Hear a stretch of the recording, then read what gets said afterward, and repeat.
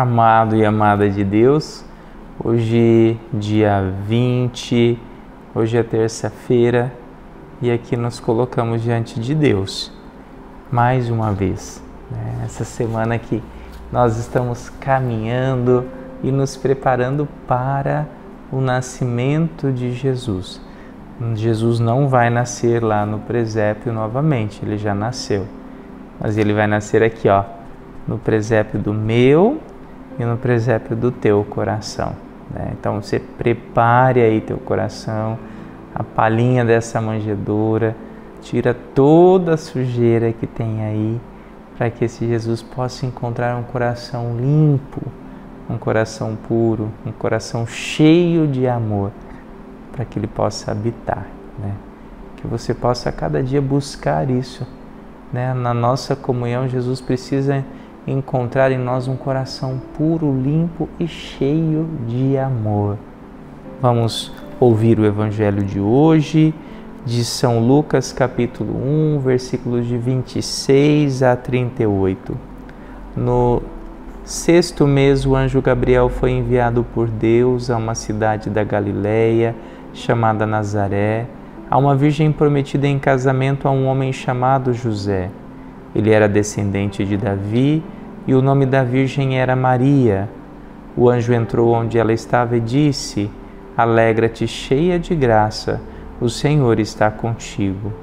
Maria ficou perturbada com essas palavras e começou a pensar qual seria o significado da saudação. O anjo então disse-lhe: Não tenhas medo, Maria, porque encontraste graça diante de Deus. Eis que conceberás e darás à luz um filho a quem porás o nome de Jesus.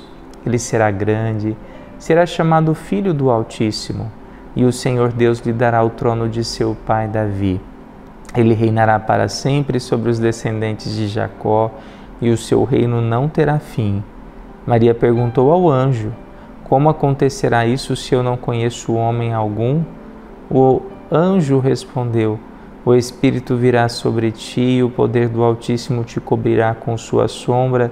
Por isso, o menino que vai nascer será chamado Santo Filho de Deus.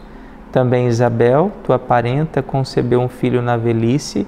Este já é o sexto mês daquela que era considerada estéril, porque para Deus nada é impossível. Maria então disse: Eis aqui a serva do Senhor, faça-se em mim segundo a tua palavra e o anjo retirou-se. Palavra da salvação, glória a vós, Senhor. Então, o anjo está trabalhando bastante. Né? Então, tivemos ontem o relato do anjo que vai a, Isa, a Zacarias anunciar que eles iriam gerar um filho, onde colocaria o nome de João. Agora nós temos o anjo que vai até Maria e anuncia que ela vai gerar o Salvador, porque ela encontrou graça diante de Deus. E aqui né, nós, nós vemos que ambos ficam né, ali, né, incomodados ou perturbados diante da graça de poder estar falando com o anjo. Né? Então eu fiquei pensando nisso. Como não ficar? Né? Não tenhas medo, né? não se assuste, mas como não se assustar? Como não ter medo? Mas não é um medo né, de pavor, mas um medo de, até no sentido de, de, de, de estar diante de algo muito sagrado e muito lindo, né? É um susto, na verdade, não é um medo. E ali nós vamos ver Maria que pergunta, o anjo fala que ela vai foi escolhida para ser a mãe do Salvador, e ela pergunta: "Mas como que isso vai acontecer?" Porque ela não conhecia homem algum. E de fato, né, nós sabemos que existe um, um, um, um modo de, de gerar, né, a união do, do homem com a mulher que vai gerar esse, vai dar à luz, vai gerar este filho, esse casal que fica grávido, né? E ali ela fala não, o, o teu gerar, né, vai ser diferente. O Espírito virá sobre ti, o poder do Altíssimo te cobrirá com sua sombra né? E essa sombra é, que, que vai né, então conceder a ela a graça de, de poder gerar no seu ventre o Filho de Deus, né? esse Filho do Altíssimo, você entende? Né? Então não, não foi pelo método humano, mas foi pela graça divina. E ali, né, o, o anjo vai falar: Olha, e vou te falar, até tua parenta Isabel, ela também concebeu um filho, vai conceber um filho na velhice. Esse já é o sexto mês, porque né, para Deus nada é impossível. Ontem o padre falava sobre isso, né? Deus ele, ele, ele pode criar caminhos diferentes. Deus ele pode usar meios diferentes e ele usou, né? Ele usou aqui para poder conceder a nós um Salvador. Mas só que precisou ali da, da resposta de Maria. Qual foi a resposta de Maria? Eis aqui a serva do Senhor, faça-se em mim segundo a tua palavra. Ela se coloca como serva. Ela não coloca condições.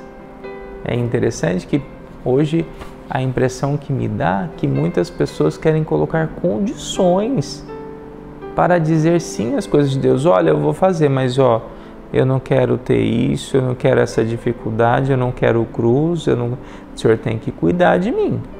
E ai, ai, se Deus não cuidar, ai, ai, ai, se Deus ali não, né, deixar acontecer alguma coisinha, algum sofrimento, pronto.